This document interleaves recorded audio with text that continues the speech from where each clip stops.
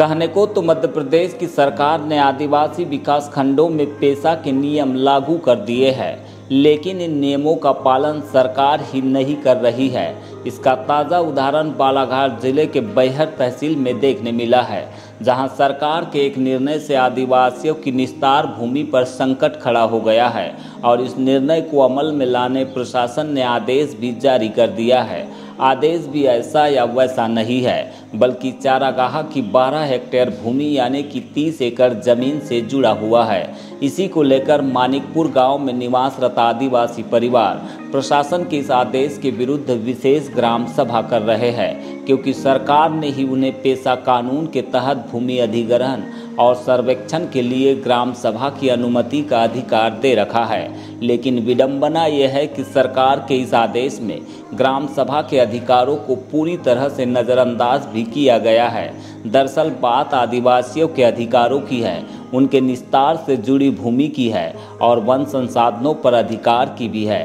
इसीलिए ग्राम सभा की इस बैठक में क्षेत्र के विधायक संजय उइके है, जिला पंचायत के सदस्य मनसाराम मरावी है और सामाजिक कार्यकर्ता द्रोप किशोर मरावी भी है।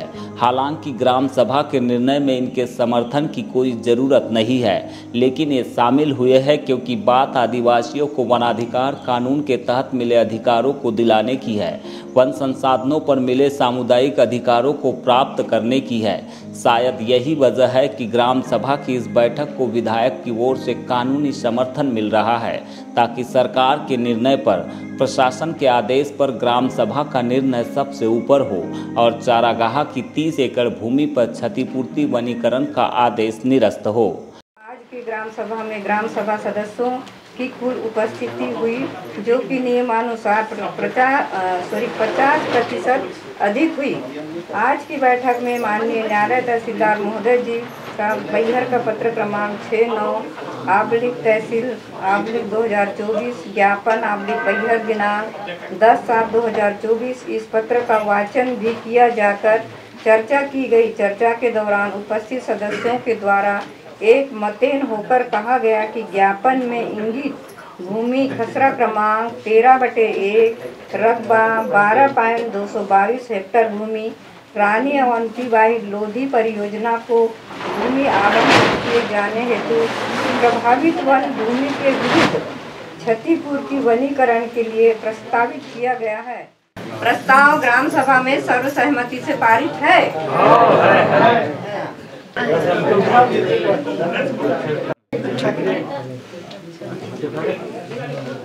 आपको बता दें कि मध्य प्रदेश सरकार के द्वारा नर्मदापुरम ज़िले की बनखेड़ी तहसील के गाँव धड़ाव पड़ाव के पास दूधी नदी पर सिंचाई परियोजना का निर्माण किया जा रहा है।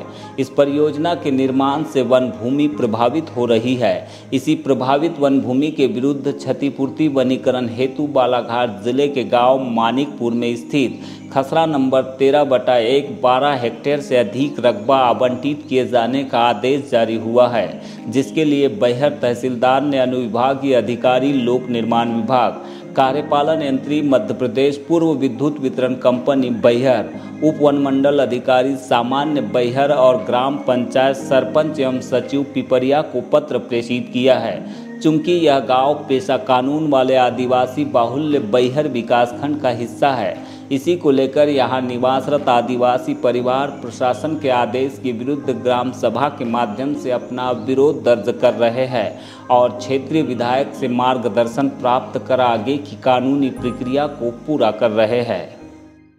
आप चार चूना कहाँ से लाते हो? भर्रा हर्रा बैड़ा कहाँ से लाते हो? आपको जड़ी बूटी लगती है।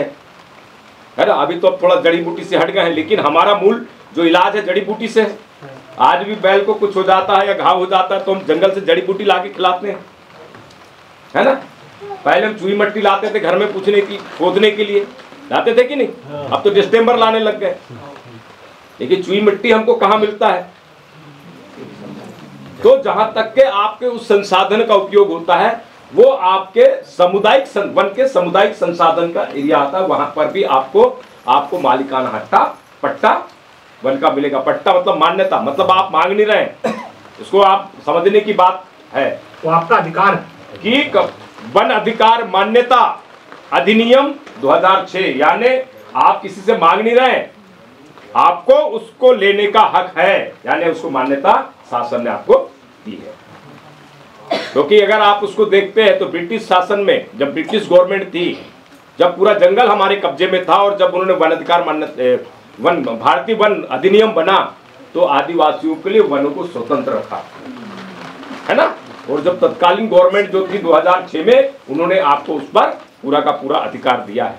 लेकिन उसके लिए आपको क्या करना पड़ेगा? हम लोग कई प्रस्ताव बहुमत से पारित करते हैं। कैसे? इतने लोग बैठे हैं। अभी भैया ने पूछे, सब लोग तैयार हो कि एकाध के मन में तो ऐसा नहीं है। पूछे कि नहीं? तो सबने भाव बोले।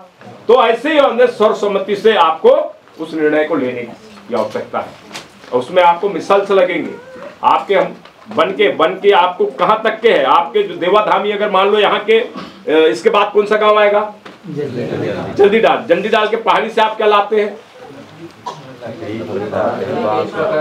जैसे आपको छींदी लगती है। है ना? तो छींदी आप कहाँ से लाते हो? वो जंगल भी आपके निस्तार के जंगल में अगर आपको जलाऊ लकड़ी यहाँ नहीं मिलती है है ना, या आप अपन मोलायम पत्ता लेके आते हैं, लाते कि नहीं? शादी ब्याह में में हमारे को ज़रूरत पड़ती है, कुमरी छाता, ढाबा बनाता में भी लगता है। तो उनके भी हमारे निस्तार से, अगर हमारे यहाँ से दूर के जंगल में तो वो भी उस मैपिंग में आएगा। जैसे मूड धोने की मिट्टी मिलती थी, पहले लाते थे कि नहीं? है ना? तो वो भी आपके निस्तार में आता है। तो ये सारा का सारा जो अधिकार है, अगर आप उसको, हम उसको सी एफ़ आर करते हैं कम्युनिटी फॉरेस्ट राइट है ना? यानी वनों के संसाधनों का अधिकार, सामुदायिक उसमें दो तरह के फॉर्म भरे गए जैसे अभी सरपंच लोग लेते हैं, जैसे फॉरेस्ट में भी तो आपका तालाब बना। तालाब अगर कहीं फॉरेस्ट की ज़मीन में आप बना रहे हो, खेल मैदान बना रहे हो तो समुदाय दाव सरपंच करता है कि वहाँ पर हमको समुदाय के लिए फलानी चीज़ की आवश्यकता है तो इतनी भूमि लगेगी।